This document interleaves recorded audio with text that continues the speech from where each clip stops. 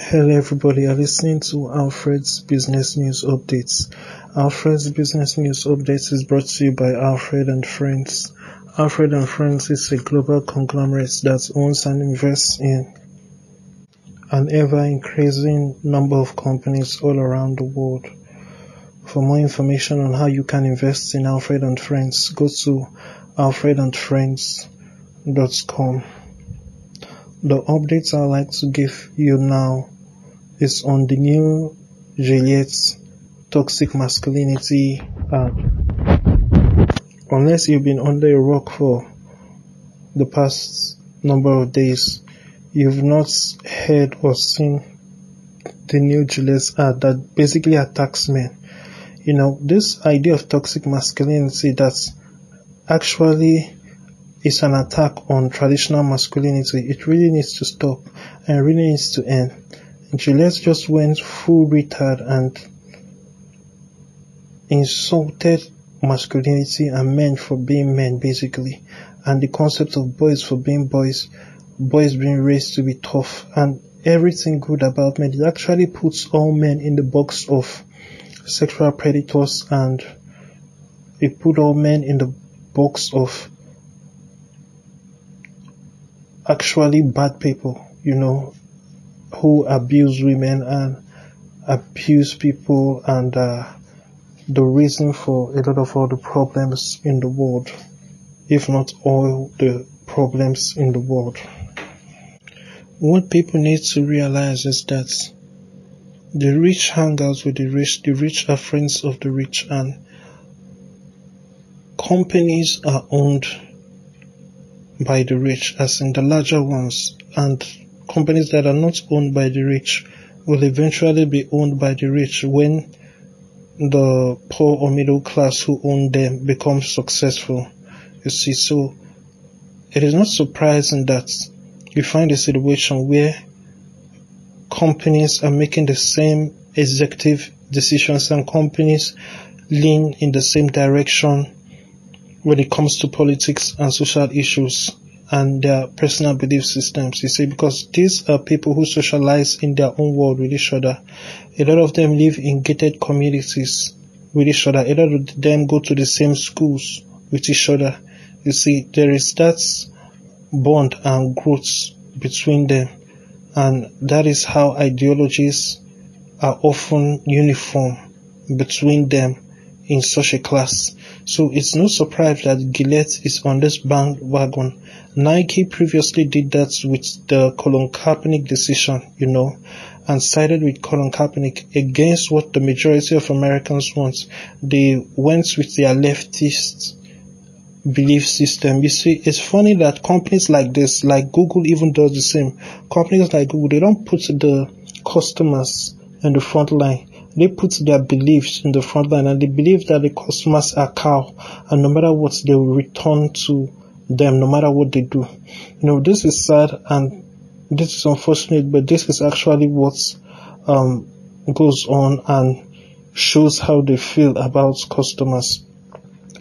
There is also the matter of lobbying the rich by non-profit organizations.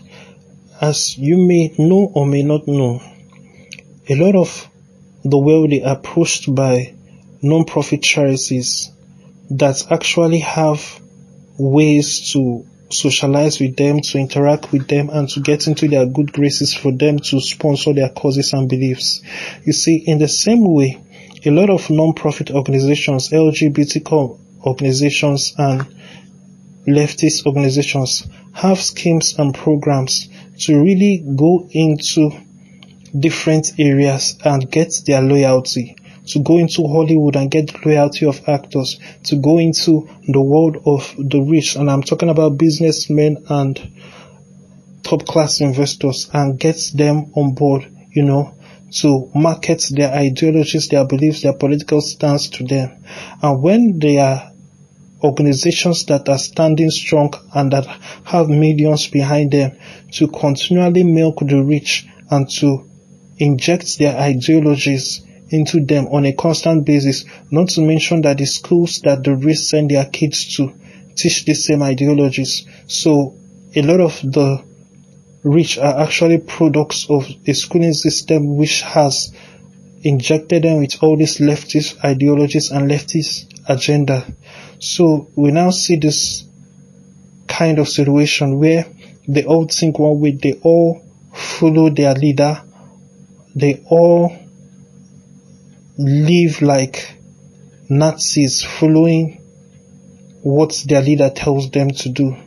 You know, their leader being the deep state ideology, you know, whatever ideology that the deep state has put out to control them and to move them in the direction that they want them to move, you know. So you see, these are actually machines that are in place that control the way society thinks. When you actually control the way the rich think in a nation, you have a great deal of power because you can control the future of that nation. You because now you now actually control the finances, you control the minds and the ideologies of all those who have great financial wealth, which will be used to steer the nation and to drive the nation in whatever direction they wish. You see, so these are things that you should also look at and consider. And this is why Christians should have deep plans and serious um, schemes to get into these places. We must have plans to get to the rich, you know, to win them, to teach them about Christ and also to make sure that it is our ideology that wins because whoever owns that market, whoever owns the world of the mind of the rich, whoever controls the minds of the rich, controls a great um, wealth of power. And what they say goes. You see, they have the power like they have used to eradicate free expression of Christianity from certain segments of society, which they have used their well to do. They have the power to impose on people how they wish them to live their lives. Like you can see the drive for abortion and Planned Parenthood. Planned Parenthood is funded by, I would say before Trump, it was funded by taxpayers' money as in the killing of, um, innocent children. And when it even comes to the idea of free healthcare for women, free healthcare for women is actually sexist and evil because you exclude men.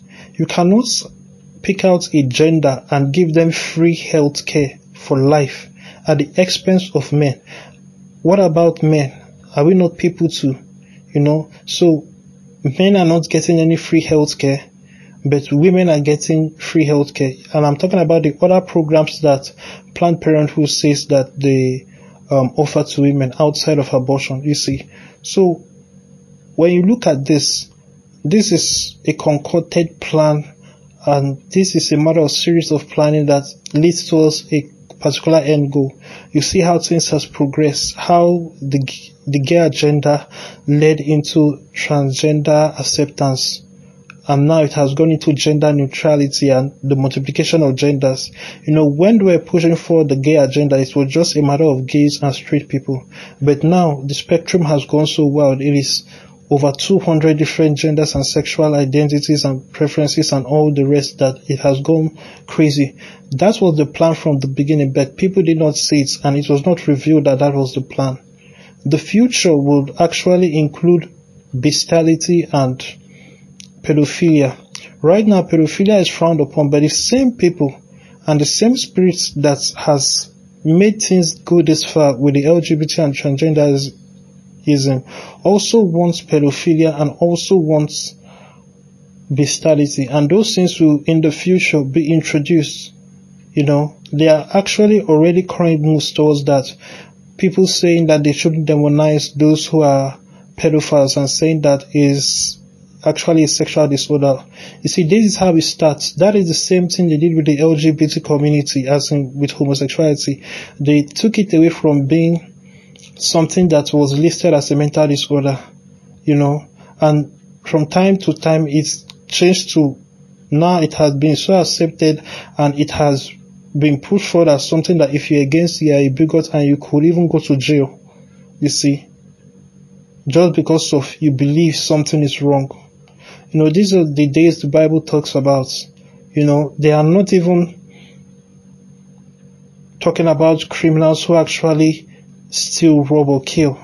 Are talking about putting people in jail because of their beliefs, because they disagree with a new and wrong idea of marriage. You see, this updated idea and definition of marriage is total nonsense. Let me remind you that the people of Sodom and Gomorrah, in spite of the fact that Sodom and Gomorrah had homosexual marriage, they did not have, sorry, in spite of the fact that um, the people of Sodom and Gomorrah had homosexuality, they did not have homosexual marriage. You see, because even them, they saw that it was insane. They did not do that, the marriage aspect, because there's actually, there's no point to it.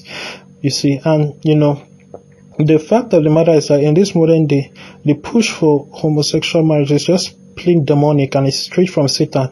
And it was actually the only way that Christians will stand up and fight against something. Because you see, people being homosexuals, these modern day Christians will not fight against it. They would not stand up or rise against it, you know, but Christians needed to be demonized. And the whole point of marriage, when you look at marriage as a whole in America, the stats of people who are getting married are greatly decreasing because you see, with everything falling apart, and this is what happens when you depart from God. When people depart from God, they depart from wisdom, they depart from all common sense, they turn their back on all common sense, they turn their back on all knowledge, they turn their back on all truth. So all they are left with is darkness. That is why you see relationship lasting shorter and shorter days and you see more and more foolish decisions that are being made and catastrophic decisions. Look at the people that are even elected into office, like um, Alexandra Cortez. This is somebody that doesn't even know the branches of government. How did she pass elementary school? You see, and then she now has a silly famous quote that um, it's more important to be morally correct than factually correct. What kind of nonsense is that? And this is the person that they put in charge of the finances in Congress. You know, this is insane. You can't do this kind of thing. Her plans are always plans that are idiotic and that will lead to the imminent destruction of America. But this is somebody that people keep voting for. So you can see the whole stupidity of what America has become now and a lot of people in America look at the people who hate President Trump. When you think about it, it doesn't make any sense. President Trump has done more for America than any other president. President Trump has done more for minorities and black people than any other president, yet he's the most hated of all. It doesn't make any sense. People don't do their simple research. They just watch CNN or go off what they are being told by silly people who also don't do any research because they want to hear lies. They want to hear falsities. You see, you know, you, you can twist certain things in a way that it sounds how you want it to sound. However, a clear mind that looks into it, who is interested in truth and who possesses truth can see through all the smoke screens and see the truth behind everything. You see, but the way the world is now, President Trump can do something like um, he goes into black neighborhoods and increases investments and jobs. And what does MSNBC say? MSNBC says he's only doing it to um, get black votes. And then silly black people believe that. And then say President Trump is a terrible person, he's a racist. But this is somebody that has gone into your communities to create jobs and to create tons of investment opportunities because he has now made it in a way that is actually more profitable and you actually have less taxes upon you for you to build and for you to create investment opportunities in such poor black neighborhoods. You see, he left others. You know, this is actually unfair to the white community and this is actually unfair to other communities. He has focused on so much on helping blacks. And yes, what does he get? Hate. You see, because a lot of all these blacks who still hate President Trump don't see through the smoke screen from MSNBC and CNN. And you know, a lot of people just want to believe that the world is against them and that racism, racism, racism. So when you point somebody at somebody and say racism, you know, they are most likely going to believe and keep on believing in spite of the fact that the facts say otherwise. You know, so that is actually something that um, you must look at. The issue of Gillette doing this toxic masculinity and, and insulting men is quite sad, and majority of the mainstream media supports it and Twitter and Facebook and all of that are pushing forward ads and posts and videos that support the ad and that attack those who are against the ad and saying that why is an ad offending them? Why won't an ad offend men? You know, when a company that makes shaving sticks for men insults all men and puts them in the box of the box of sexual predators and actually the ad seriously attacks white men and puts black men as the saviors. And that is something that you see in all ads. Nowadays, a lot of company ads, when you watch them, the black guy is the smart one and is the cultured one, is the intelligent one, and the white guy in the ad is an idiot, is uneducated, or is a wimp. You see, and they always now do a flip on things and make sure that the man, the white male, cannot do any housework or is not good with housework, even though he thinks he is. But the woman is actually better. Sometimes even the wise woman. And there are now a lot of ads that ingeniously put this concept of a white woman preferring a black man to a white man. You see, all these tricks and all this madness, you see, this is the reason why a lot of people are turned off by the mainstream media and a lot of people will vote for President Trump and people who think in that lane, people who see these things. You see, this is the reason why this will continue. And you know, you must understand that